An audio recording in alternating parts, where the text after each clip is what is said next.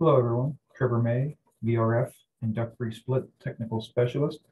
Back again with our Tech Tips mini-series. And on this specific focus, a part of our Tech Tip mini-series, we're going to be focusing on the basics of troubleshooting a ductless split system. Uh, this is going to be broken down into individual error codes and things to look for. Uh, and first and foremost, we're going to go ahead and start off with just the bare bones basics or an entry guide into starting to troubleshoot uh, basic things on a ductless split system and definitely things to be aware of and to keep an eye out for as you start troubleshooting a single zone or a multi-zone ductless split. So the first thing we definitely want to cover on here is something that often gets overlooked, uh, which would be your wireless controller. And oftentimes, typically the batteries over time, they tend to weaken where they don't send a strong enough infrared signal, which you can see here uh, in the top part of that wireless controller is what actually sends that infrared signal to the indoor unit to send a command and in the follow me mode also receives an infrared receiver signal back to the wireless control so that it can report talk back and forth between that wireless controller so that it can read room temperature from the wireless remote controller. So if you do have a wireless controller that you suspect that may be faulty, instead of taking a guess at it, the first thing that you should do when you're dealing with these, regardless of whether the system is brand new or not, is make sure that you have a nice fresh set of batteries in there. Uh, there are a lot of circumstances where guys are thinking way too advanced with this and overlook the basics of maybe the batteries are starting to weaken and I should work with a fresh set just so I know that I could take that out of the equation and that's not a factor into why that this system is not responding to a command signal from the wireless remote controller. So of course you want to start by replacing your batteries first, starting with a fresh set.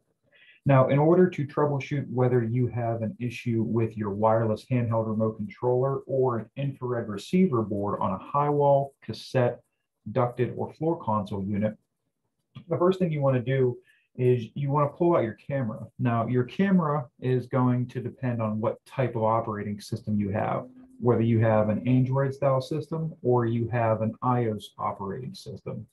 So with the Android style system, you can use either your forward facing camera or your rear facing camera, or I always call it the selfie mode where it's a forward facing, like you would take a selfie. Android does not have an IR blocker on their forward facing camera or their front facing camera or the selfie style camera function.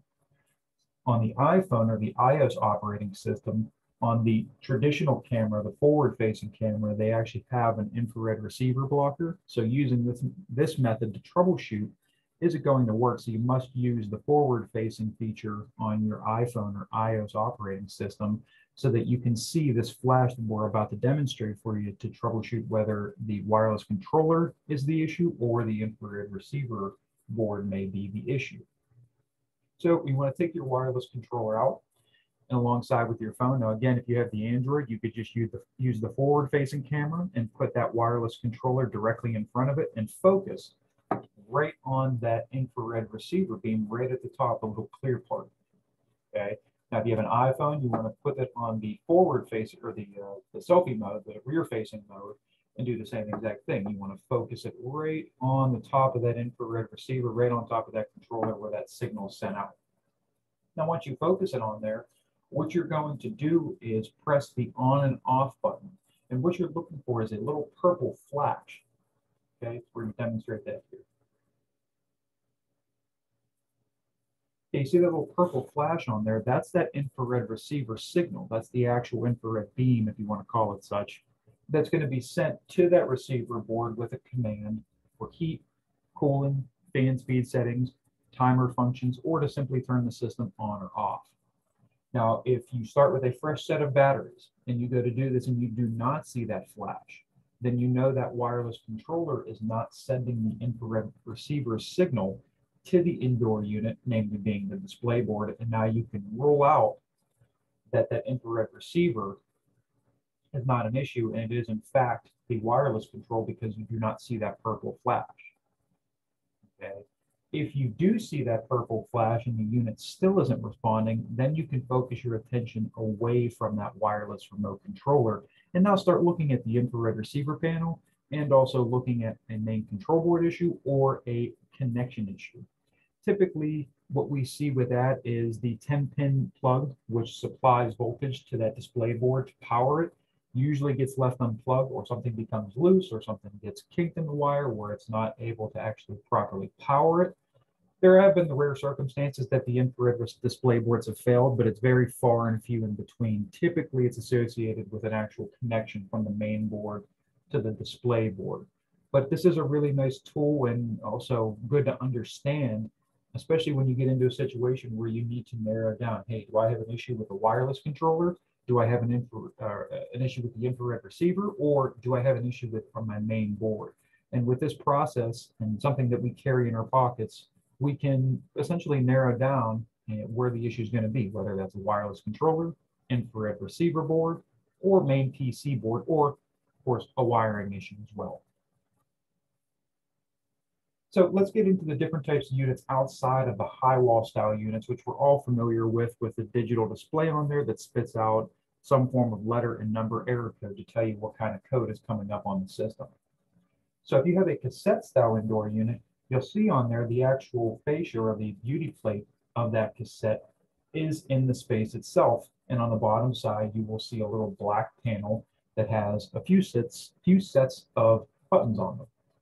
First button is going to be, or I should say light, is going to be your operation lamp. So of course, this is going to be illuminated when the power is turned on to the system. The second lamp on there is going to be your timer indicator if you have the timer function set up on this indoor unit. The one in the middle on there is going to be a digital LED.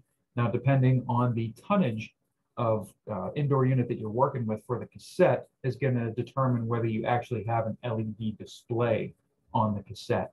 The 9s, the 12s, and the 18s do not have that digital display. Typically, this is on the larger tonnage compact cassette style units. Now, when I say compact, I mean a 2 by 2 cassette, which is the only size cassette available in the ducted or the uh, ductless product line. Your next light on there is going to be your defrost and fan light. Now, obviously, the first part of this is pretty self-explanatory. If the unit's in a defrost mode, this is going to be illuminated. One other thing that technicians and also homeowners ask the technicians is going to be, hey, unit's not in a defrost, but I see this red light illuminated when I turn the unit on for heat. Why is it illuminated? Because it's not in a defrost. So the other half of that, the fan half of that, actually indicates that the fan is locked out in the heating mode because we are in what we call the anti-cold air function. Now, with this anti-cold air function, it's active on every ductless indoor unit. And the whole purpose behind it is as soon as we have a call for heating, especially when the system's been off for a while or the indoor coils aren't quite up to temperature, if we would kick on that fan, we would essentially have some cool air that would be blown on the customer. And it would make an uncomfortable situation for them, of course, depending on where that unit is in proximity to where they are in the room. So what we do is, is we leave that fan off in the heating mode. We start the system up and allow that hot gas to circulate in that indoor coil. And there's a T2 temperature sensor in there, which is on one of the passes or U-bends of the indoor coil. That sensor is looking at a certain temperature before it engages the fan in low, medium, and then finally either high or whatever setting speed that you have that wireless controller set at for your indoor fan speed that light will stay illuminated until you reach that maximum setting of high speed or whatever the setting fan speed is. So if we were to look at it as a generic example, now these temperatures aren't accurate, this is just for an example. Let's just say at 95 degree coil temperature that we will initiate low speed. What you'll see with that defrost fan light, it'll still be illuminated even when that fan starts up in the low speed. Let's say 100 degrees initiates mid speed on there light's still going to be illuminated. And then finally, once we've reached, let's just say 110 degrees, this control function or the anti-cold air function releases that defrost fan light does not light up anymore. The louvers open up and now the fan speed is either in high or whatever setting fan speed. The other way to tell outside of not having this light lit up is that you can actually make changes to the fan motor speed and it responds if you're in this anti-cold air function, it locks the fan speed options out for the time being until it reaches a certain coil temperature because we have the fan locked out. We want to make sure we have a nice warm coil to be able to provide warm air when the customer is calling for heat.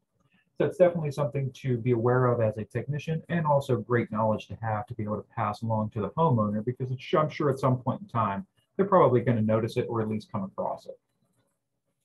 Finally, your alarm light on there. If you do have an alarm active on the system, this lamp will illuminate. And if you have a digital LED, it will uh, give you your error code just like you were used to having with the digital display. If not, typically there's a flashing sequence between the operation and timer indicators. And if you look in the service manual, depending on how many times they're flashing back and forth, will indicate a particular code. And finally, you have your little square uh, black box in the end, which essentially is just the infrared signal receiver, which receives the commands and makes it compatible with a wireless remote controller. Okay. Now, with the cassette styles, when you actually have the body of the cassette mounted up in the ceiling and you go to put the fascia or the uh, beauty cover on the uh, cassette itself, the actual body of the cassette, you're going to have a few different connections on there. Your first connection you need to plug in on the main board is your 10 pin connection.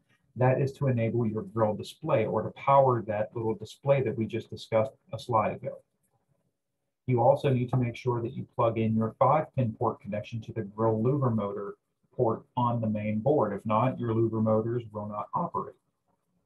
And then finally, if you have a older style, so this would be a KSACN 0101 wired remote controller, there is a five wire plug for a wired wall controller to plug in. If you do not have that model number thermostat, or should I say wired controller, or if you're not utilizing a wired controller and using the wireless option, you can tuck this away nice and neat. It does not need to be plugged into anything. The newer style wired controllers, which would be the KSACN 0401s, which are compatible with these compact set style units, have a four wire plug. So if you have that style thermostat or wired controller, you'll notice on there that that four pin doesn't plug into this five pin. And that's usually another question that we get. There is a separate terminal on this board, which is labeled CN40, which is a four wire connection. And right above it, it usually is printed wired controller. That is where the new style thermostats or wired controllers get plugged in on the main PC board and not to this optional harness that comes with the actual fascia or beauty cover of this cassette style indoor unit. Now moving on to our ducted unit.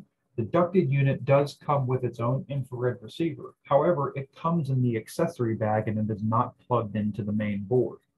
The issue becomes is that if you're looking to read out an error code from this indoor unit and this is not plugged into the board, there's no way to actually get a nice readout of that error code other than going to your outdoor unit to see if an error code's active out there. So a good rule of thumb is in the accessory bag, don't just discard everything in it. Make sure that you plug this into the 10 pin connection, just like we've seen on the cassette style unit here, where we have a 10 pin connection, except now it's going to get put in to the board at the ducted unit. Okay, so that gets plugged in, it'll power up. You'll see here you have two little black slots. The one farthest to the right is your digital screen, which actually has a readout of your set temperature. And if there is an active error code, it will display that active error code. The one right here, right to the left of that is your infrared receiver panel, where that signal from a wireless controller can be sent to change the set point, the fan speed, the mode, start a timer function, um, and a bunch of other things. You can also access your advanced service menu um, by using that wireless controller as well. But you'll see on here, just like with the cassette style unit, you have your operation, your timer, your alarm, and then that defrost and fan light. Remember with that defrost and fan light, not only does that mean defrost, but if it's illuminated and you're not in a defrost, that means you are in the anti-cold air function where the fan is locked out until that indoor coil temperature reaches a certain degree during a heating call. Okay. Other biggest thing on there, you'll notice there's a manual button. If you press that manual button, what essentially what that is, is a forced auto, a forced cooling, and then you also have an option to force defrost. And I just want to back up one slide here, two slides actually. The temporary button, which you can see in this depiction, is the same thing as the manual button on the cassette to force it into an auto mode, to force it in a cooling mode, and also to force defrost. So that option is available on every ductless style indoor unit, whether it is a cassette, ducted, a floor console, or a high wall style unit. Now, when you press this button once, you'll hear an audible beep. If you have this infrared receiver plugged in, you will see a 76 display on the screen, which is a fixed set point of 76.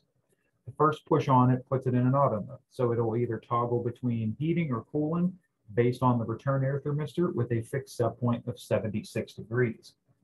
If you press the button again, you will see an FC displayed on that screen. That FC indicates a forced cooling function. That is a fixed set point of 76 degrees. Both the auto mode and the forced cooling mode have a fixed runtime of 30 minutes. Essentially, what this is meant to do is that if you have a temperature sensor, whether it be return air or indoor coil temperature sensor that is coding out on there, you can use this button to bypass that for a 30 minute time period to be able to run the system to make sure and check your delta T, not only to make sure the charge is correct, but that you're getting a good supply air temperature, of course, depending on what mode you're uh, running the system in. Okay. And then finally, to force defrost, what you're going to do is press that button twice to see the FC display on it, and then press and hold that button until you see a lowercase d and uppercase F, which indicates you have now forced a defrost. The system will go into a defrost mode, and now it will look at the outdoor coil temperature and compressor runtime to be able to not only start the defrost, but to initiate the defrost based on coil temperature. Okay, now if you don't have frost on the coil and you force the defrost, it's not going to stay in defrost very long. But if you have a frosted up coil, this is a great way that you can go through and force a defrost on the unit to see if the unit can successfully defrost, if we're facing a charge issue, or if you have to manually defrost, this can certainly be something to try to help you get in the right direction of relieving that ice off of the outdoor coil. So getting into the actual error codes, or the most common error codes that we see um, on our indoor units. Now, if, it's important to notice, if you look at the slide where it says indoor error code display, and it has a dash, and then looking specifically at the high wall units. Each indoor unit has their own proprietary codes. However, there are a lot of codes on here that are common, such as the E1 code, which is often referred to as the communication code between that particular indoor unit and the outdoor unit. But it's very important to note if you are troubleshooting a high wall unit, you need to make sure that you have the high wall service manual and not the outdoor unit service manual or a floor console or a ducted service manual to ensure that you are reading out the correct code and troubleshooting the correct issue. If not, you could be chasing a ghost code and chasing a problem that just simply doesn't exist because you're reading out of the wrong service manual and referencing the wrong code. Now on this one, you'll see I have three ones highlighted on here. These would be the most common ones that we run into on the high wall style units. The first one that's highlighted on there is going to be your E1 code, which is the communication between your indoor and your outdoor unit. This is most common typically among the single zone and the multi-zone systems. Okay, some things to pay attention when we look at E1 codes, and we'll dive into this through later classes would be looking at the connection of wiring. Don't just assume that it's a control board. Work the code. You have to look at the wiring. You have to know the voltages that we need to check and what ranges are acceptable between our neutral, our L2 and N, and our signal wires. That's where we're going to take a DC voltage reading. And again, we'll get into the nitty gritty of how to troubleshoot that code in later tech tips. But understand that is our communication code on the 40 MAQ high wall unit. Our next one's going to be E3, which is our indoor fan speed that has been out of control. Now, what that means in layman's terms is that there's something that's preventing that indoor fan motor from running, whether it's something physically stuck in the blades and it's causing it to amp out and trip off on this code, or if we have a fan motor that's disconnected from the main board, or if the motor's starting to fail, if one of the windings is getting weak, it tries to start up, it overamps, and it kicks off on this E3 code. Just some of the things that can cause that. And then finally, we have an FO code, which is an overload current protection. Okay, it's important to note on this, this FO code or this overload current protection typically is associated with something that occurs in the outdoor unit. It's always important to double check your indoor unit, your wiring connections, ohm out fan motors on your indoor unit. But typically speaking, this is a focus that you want to start looking at the outdoor unit first. Okay, but this is a current protection error. But these would be three of the most common ones that we have on our high wall sound units. Now, the nice part with the cassette, the ducted, and the floor console models is that they all share the same nomenclature for display error codes across their models. So in reality, when you're looking at error codes, you need to make sure that if you have a high wall unit, you're looking at that particular service manual. For the cassette ducted and floor console units, their error codes mean the exact same thing. So you could have a cassette unit looking at a ducted unit service manual and the error code is going to be the correct error code that you're referencing out of the ducted manual for a cassette unit. So it's just important to know which ones we, uh, we share and then which ones are different. So you'll see on here, the one I have highlighted is going to be an F8, which is a lifting panel malfunction. So what that means is, is that if you play around with that louver motor and you end up jerking it out of its factory position or the home position and you go to try to turn the system on, or you do it while the system's on currently and you get this F8, the way to resolve that is, is to shut the system off, wait 30 seconds. When you shut the system off, the natural position for it is to go back to its home position and the louver should close automatically and seal up. Wait 30 seconds, turn the system back on, and that F8 code should be taken care of and should no longer be present in the system. Okay. Again, that's on your cassette, ducted, and floor console models. Now, however, the ducted don't have louvers. Only the floor consoles and the cassettes do, so that will be a code applicable to a cassette or a floor console style unit. Now, looking at the multi-zone error codes, this is where it's extremely important to know not only where are you reading the code, but what service manual you're reading the code from. Now, if you look at the indoor service manual, we know that the E1 from two slides ago was a communication error. But if you use that same E1 on an outdoor unit, you'll notice that the outdoor unit doesn't display an E1. It displays an E2. So it's always important to have the correct service manuals and also know where you're reading the code. Because if you're reading a code off a wired controller, but you're using an indoor unit service manual code chart, you're going to be referencing the wrong code. Like I stated before, you're going to chase a ghost problem and never really get to the bottom of what's going on with that unit. I want to have highlighted on here is a P6 code.